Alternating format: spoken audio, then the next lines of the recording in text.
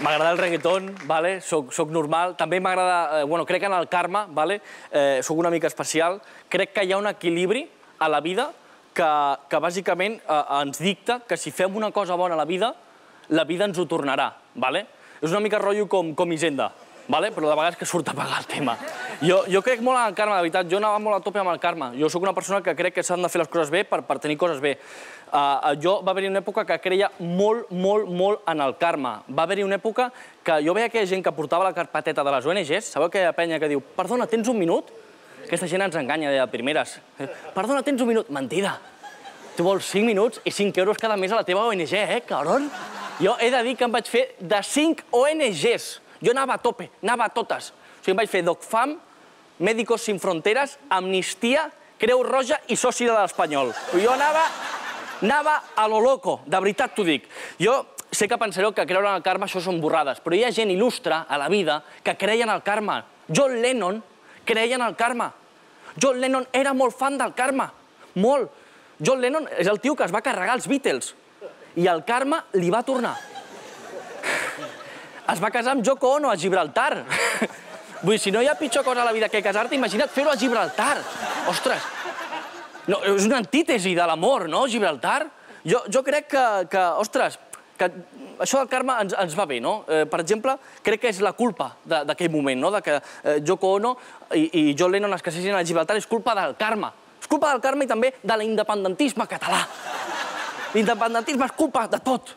Que la teva iaia no se'n recordi del teu nom i digui tot l'arbre genealògic de la teva família abans del teu nom és culpa de l'independentisme. I també de la pèrdua progressiva de memòria de la teva iaia. vale? Vull dir, és veritat, que són de mones les iaies. A mi m'encanten. O sigui, la meva iaia es diu Juliana. Vamos. I la meva iaia, Josefina. Noms de iaia. Això s'acaba, nois. Sap molt greu. Això s'acabarà aviat. Vull dir, deixarem de tenir les iaies tal com les coneixerem quan la coneixem, arriba la, la, la, el, el Kevin i la iaia Jenny, vale? Tot això s'acaba. Vosaltres coneixeu algun Kevin? No arriben, es moren abans, de veritat. És un inconvenient, ja ho diuen els oques grasses. Acabarem ballant twerk i fent reggaeton al casal d'avis. Tu t'imagines aquell moment? Fent, amb, amb el tic del rou, saps? Una mica de, de fer parquineo al Parkinson, com tot molt raro, saps? A mi em preocupa, a mi em preocupa això. O sigui, jo m'imagino aquell moment a, a la residència d'avis amb, amb, el, tatu de Te amo, Jenny. Tot caigut, saps? Que, has de desxifrar, saps? Tot, tot pel terra, això sí. Bueno, la iaia Jenny amb unes tetes ben posades, no?, de quan se les va posar. Clar, jo penso en aquesta escena, penso en tot això i flipo. I, i a mi em fa molta ràbia perquè a mi m'encanta el reggaeton. A mi m'encanta. Tope. Jo jo escolto algú de reggaeton, però el, el reggaeton del bo, el reggaeton que sona a les bodes. El reggaeton del Daddy Yankee. Daddy Yankee puto amo. Daddy Yankee era un poeta. Tu escoltes, tu me dejaste caer, però ella me levanto. Aquí hi ha una lírica, aquí hi ha una poesia. I a mi em fa molta perquè a mi les bodes m'encanten, perquè són els temes de veritat. El yo quiero bailar toda la noche, jo loca amb la trompeteta. Tu, tu. Jo, a mi m'encanta, perquè crec que les bodes són un puto festival. Com el Vinyarroc, només et falta la pulsareta. També hi ha una diferència molt gran, i és que a les bodes la gent es dutxa, saps? S'arregla. Al Vinyarroc va la gent com desgastada, ja, de la vida. No, no, m'encanta el reggaeton, de veritat. Jo vinc a reivindicar uh, el reggaeton del bo, del 2000. Daddy Yankee, Don Omar, ja tu sabes, ja you know. A mi aquestes coses, de veritat. Perquè el reggaeton d'ara està com, com cardat. Bad Bunny, sabeu qui és Bad Bunny? Bad Bunny? Bad Bunny que canta Ara soy peor, ara soy peor por ti. Hòstia, anima't i despec, canta, tio. Que ho fa com em desgana. Bad Bunny, conillet dolent.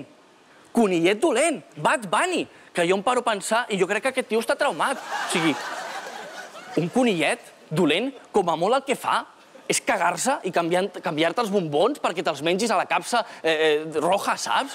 Vull dir, tu imagina't. Bad Bunny, conillet dolent. Jo crec que aquest tio està traumat. Segur. Segur, m'encantaria parlar amb ell. Bat, bat, bat, Bunny, bat. Bat. Clar, perquè... No saps com dir, no? Bat, Bat Bunny. Com li envien cartes a Bat Bunny? Senyor Bat Bunny, ese soy yo. No? Ara soy peor. Tu, tu imagina't a, aquell moment, Bat Bunny, jo sé que tu estàs traumat. Jo sé que, que, que, que a mi em passa el mateix. Jo he anat a la classe dels cargolets i no em dic Bat Cargoli, saps? S'ha de superar, s'ha de superar, de veritat, no. Sap molt greu, em sap molt greu per Bad, Bad Bunny. Imagineu Bad Cargoli fent regató en català, eh? Prema de benzina, eh? Uh, hi ha un altre que també està fatal, Lola Índigo. Lola Índigo, eh, eh, bueno, és d'aquesta casa, d'Operació Triunfo. Vull dir, Lola Índigo ho ha patat molt fort, però Lola Índigo té aquest costum de començar totes les cançons com presentant-se, que molt educada. Però tu estàs allà, escoltant la cançó, tu, tururu, i de cop i volta, Lola Índigo! Tu t'espantes? Qui aquí? Lola Índigo! Saps? Aquell moment com incòmode, Lola, saps? No caldria, no caldria. Jo crec que si dius Lola Índigo tres vegades davant del mirall, a les dues de la nit surt allà, jo ja no quiero anar, saps?